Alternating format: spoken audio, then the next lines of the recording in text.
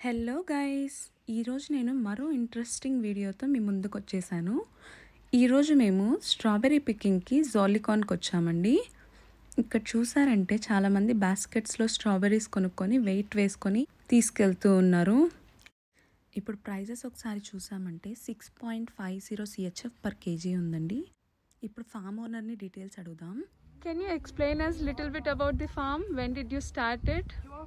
Um, we started last year, the Okay. first time, um, but on the other side uh, here, um, this time we, we went a little bit bigger Okay. this year. We have five different sorts of uh, strawberry. Um, it's like uh, we have chosen the sorts that you can't buy in the supermarket because they are sweeter. That means um, you can you can keep them only for one or two days. Oh. Um, you have to eat it fast, but uh, it's like the flavor is much better than in supermarket. Ah, okay. So its validity will be for one or two days now. Yes. okay. And when did you start planting them this year? Uh, last year, last year in autumn, started Autumn. planting them, and then uh, it took like half a year until now. Oh, okay. And how many strawberries will get per uh, plant? Per plant, uh, it's completely different. Um, Okay. We have like in this place, we have around five tons we can get out of it. Oh, wow. But one plant, I don't know, maybe Okay. maybe 500 grams of plant. 500 grams. Okay. Thank you. Yeah, you're welcome. Enjoy. Really. Thank you. Bye.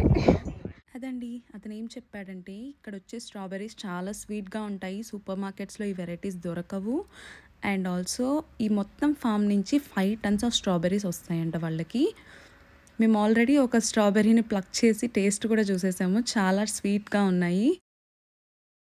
ఇక్కడ చూస్తే చాలా families కిడ్స్ని తీసుకొచ్చారు strawberry ప్లక్కింగ్కి. వీళ్ళకి ఇలా fruit plucking అనేది ఒక summer hobby.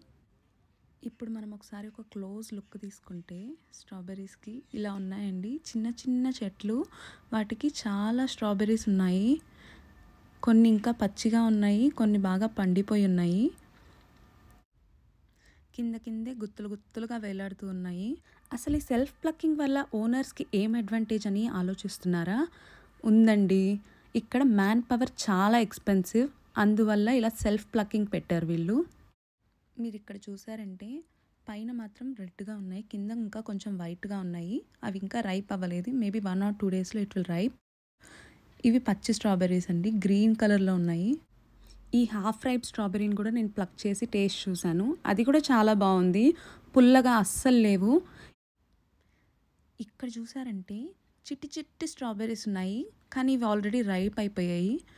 ఇవి చాలా టేస్టీగా ఉన్నాయి పెద్ద వాటికంటే తీయగా ఉన్నాయి అండ్ చాలా సాఫ్ట్గా ఉన్నాయండి.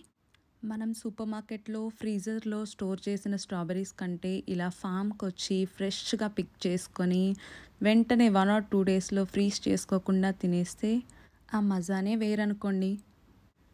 ఇవండి మా స్ట్రాబెర్రీ ప్లక్కింగ్ విశేషాలు. ఇక్కడ దగ్గర ఫ్లాట్స్లో ఉండే వాళ్ళకి చాలా అడ్వాంటేజెస్ అండి. వాళ్ళు రోజు ఇలా రావచ్చు ఎన్ని కావాలంటే అన్ని తినేసి ఇంకో వన్ టూ డేస్కి వాళ్ళు స్టాక్ పెట్టుకోవచ్చు ఇంట్లో. మేమైతే బాగానే ఎంజాయ్ చేసాం ఇక్కడ. బాగా తిన్నాం కూడా.